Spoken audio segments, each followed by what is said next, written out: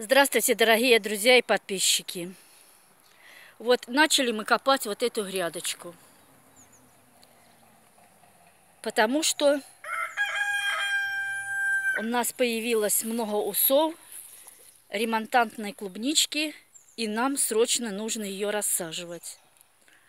Правда, очень жарко, 29 градусов утром, но и обещают на той неделе уже дождики. Поэтому нам нужно подготовить и начнем рассаживать клубничку. Вот я хочу показать вам, какая у нас здесь уродила картошечка. Я здесь удобряла куриным пометом. Вот я надкопала один кустик, выдернула его. Сейчас я его выверну и покажу вам. Вот я вывернула кустик. И вот у нас из этого кустика получилось вот столько картошечки. Не густо. Ну и не пусто. Вот еще выкопала. Вот. Ну, вроде бы больше нету. Вот, с одного кустика я выкопала вот столько картошечки. Ну, будет нормально, с нас хватит. И видите, как съела ее медведка. Обгрызла. Ну, ну, думаешь, здесь мы накопаем. С нас кушать недели на две. Волю хватит. Вот. Будет копать сын, как всегда.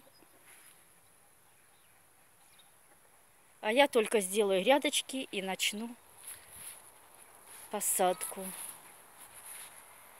Вот ради интереса сгоревший куст. Будет ли здесь что-нибудь? Попробую выдернуть. Так, это горох пускай на семено. Да, что-то его есть. Вот. Но здесь нужно лопатой копануть. Ну, что-то есть. Мелковато, но есть.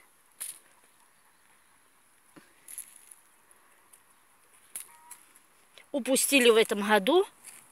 Подъела медведка. Ой, медведка хорошо. Нам картошечку. И колорад поработал. Все сын не давал обливать ядом. Будем собирать сами. Ну, теперь на следующий год будет знать, что нужно картошку обрабатывать. Сил не хватило ее всю собирать. Ну ладно, и с нас хватит. Все равно будем еще покупать мешков 20-30, потому что на следующий год будем вот разрабатывать здесь пустоту и засаживать много картошки, чтобы у нас была своя картошка. Свою картошечку, свой огурчик с магазинным не сравнить. Ну вот и все. До свидания.